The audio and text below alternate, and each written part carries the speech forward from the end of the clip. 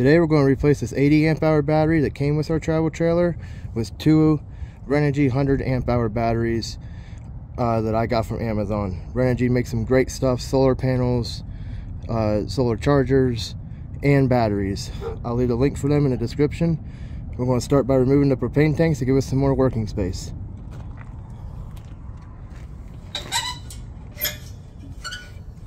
Make sure they're off.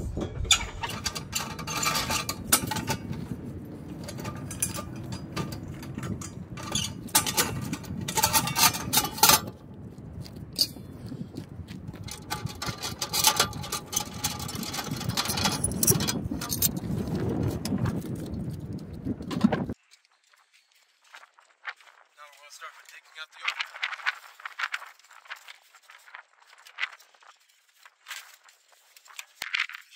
Before we start this, we're going to shut down the battery disconnect, turn off the converter, and make sure we have no other power sources coming to these cables. That way we don't ruin anything inside the coach.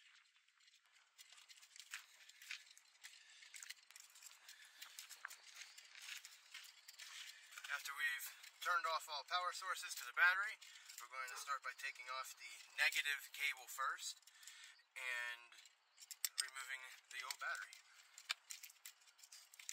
We are going to be changing the connections on the end of the cables to the battery here.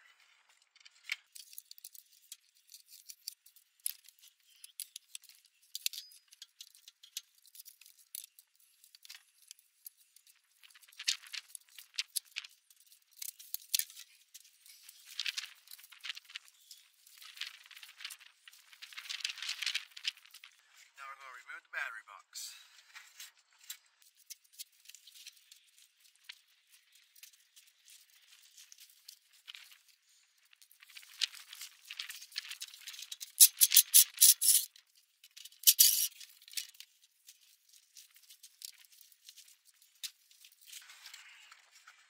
As you can see, our old battery box is a little bit smaller than our new one. So I'm going to have to do something most of you aren't going to have to do, but I'm going to show you how to do it anyway. But we're going to shim this up so our battery box sits nice and flush instead of like this. Because we don't want it to sit on just the edge here, it'll wear through the box. So, let's do this.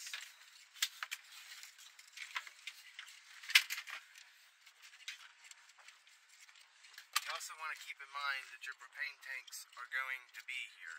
So just make sure you allow yourself enough space to be able to put your cover and your tanks back on with your batteries here.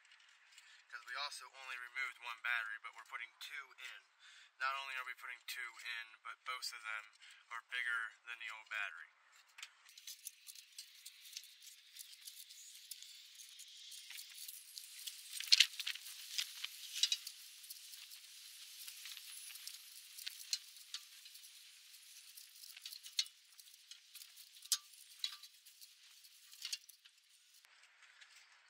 As you can we up some pieces of 2x3, uh, put them in there. They're the perfect height to bring us right above this metal lip here. We're just going to spray paint them black to make them match the trailer a little more. Plus, they're not, uh, you know, outdoor treated wood, so that'll help them last a little longer. It's not rot from the weather. Uh, we'll get those painted, and while they're drying, we'll change out the cable ends on the battery connections. So, we're going to start by obviously cutting the old one off. Don't worry, I will pick up all my litter. I promise. And before we even strip that, let's take one of our compression lugs here. Pick these up from uh, Lowe's for just a dollar or so a piece. Want it to just barely stick out the end there. And then we're going to go a little bit under it. I don't have a big enough pair of strippers, that's why I'm using the uh, utility knife.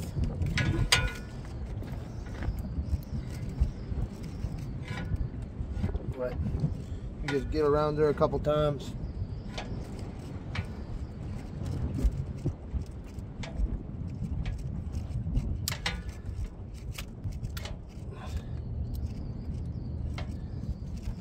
Cutting away from yourself. I am not by any means saying this is a safe way to do it. This is just how I'm doing it.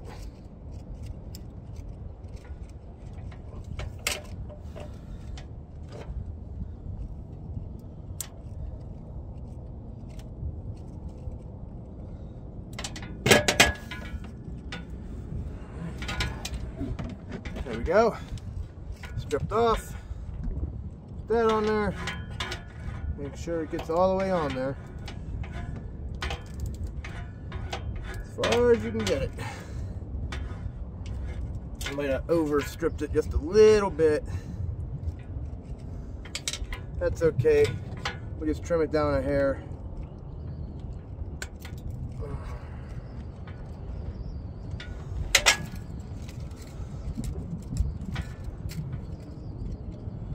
Sure you get all the strands in there. You don't want nothing hanging out the sides. There we go. We're on. Now all we gotta do is crimp it. I got a pretty small uh, pair of crimpers here. We're gonna see if they work.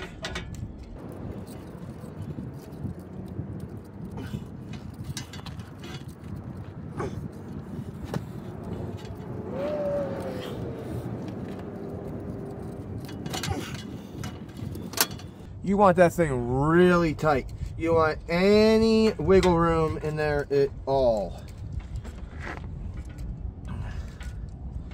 This is DC voltage, direct current. You know, not like the stuff you have in your normal sticks and bricks house or that your microwave runs off of. That That's uh, 120 AC. Um, while you're not supposed to, that stuff will operate with a loose connection. DC will not. Nice and tight. It don't move. It don't go nowhere. All the strands are nice and bunched up in the one there. That's a good connection. All right, let's move on to the next one.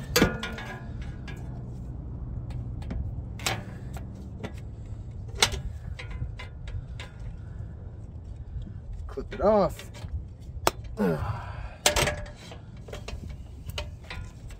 Strip it. We know about how far we need to go down from doing the other one.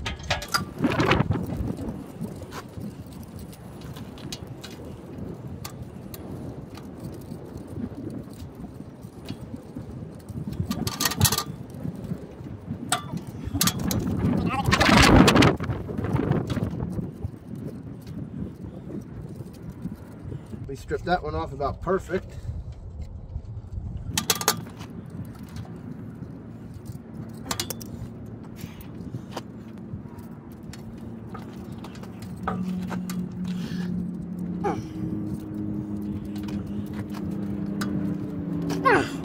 Got that one nice and tight too. Now on to putting in our little wood slats here. Uh, they should be dry by now. We'll put them in here with some self uh, tapping screws. And then we'll get the battery boxes in and we'll start hooking everything up.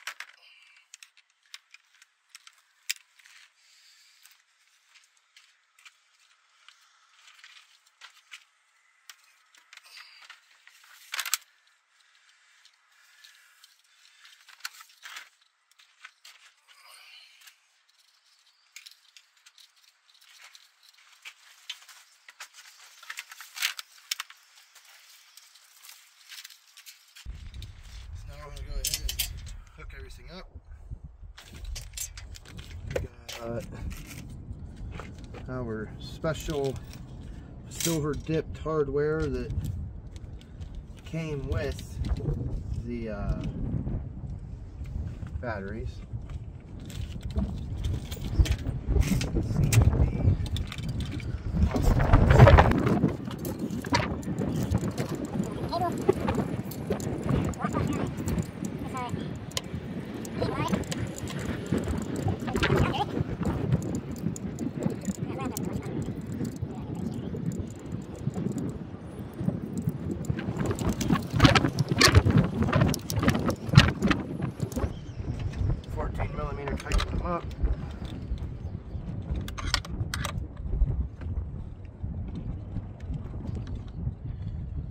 You don't want to strip out the threads in your battery, but you do want them pretty snug.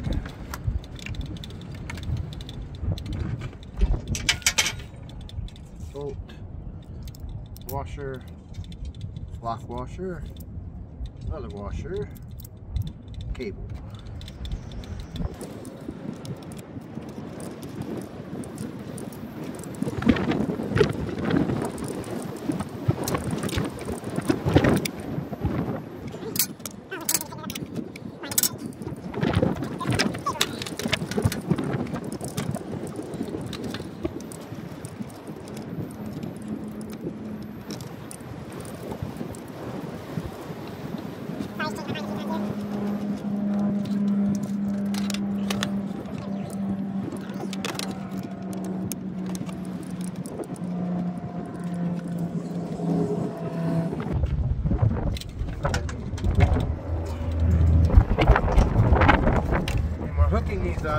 Positive to positive, negative. So that's uh, a parallel hookup, and uh, that's going to give us 12 volts. If we put 24 into the camper, we're going to fry everything we got our fridge.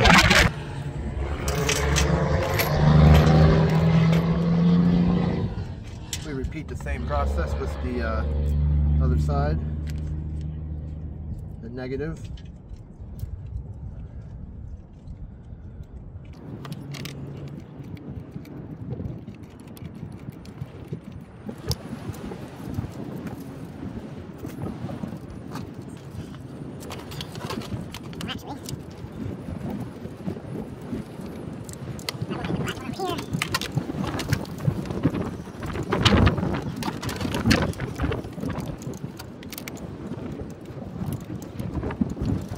Doesn't matter how you hook these up when it comes to the cables that go to the coach. You can put them on either one of these, you can put them on either one of these when it comes to ground or negative. You just want to make sure that the actual batteries hooked together are positive to positive, negative to negative.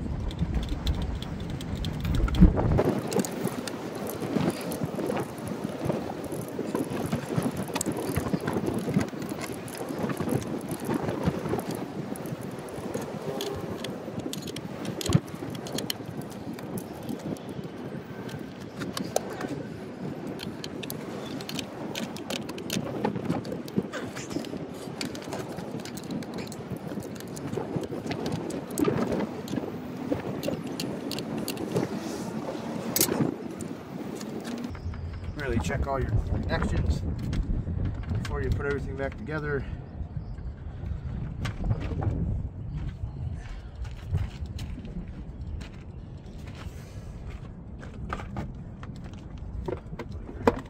Wires where they're supposed to go.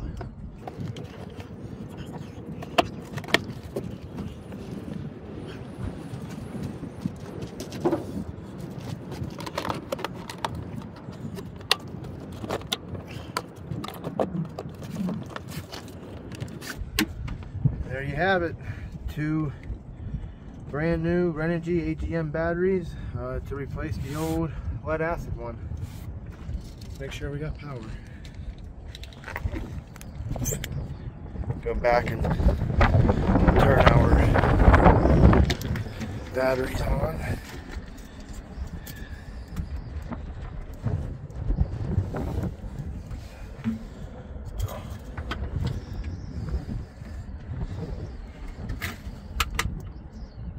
we have power. my converter is off, so I know that that's coming from the batteries.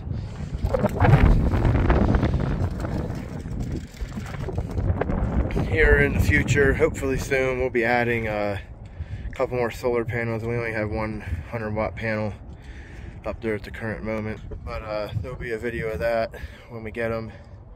We'll also be putting on a 3000 watt inverter. That way we can get rid of the generator for the most part when we're traveling on the road and boondocking. The only reason we'll ever need the generator after that is 40 AC or if we need to charge up our batteries. But I'll leave the links in the description for uh, batteries and the cables and anything else I have used in the video. Please like, share, and subscribe uh, to get more videos like this, videos of us on the road, national parks, state parks, and just join the adventure, guys. Thanks.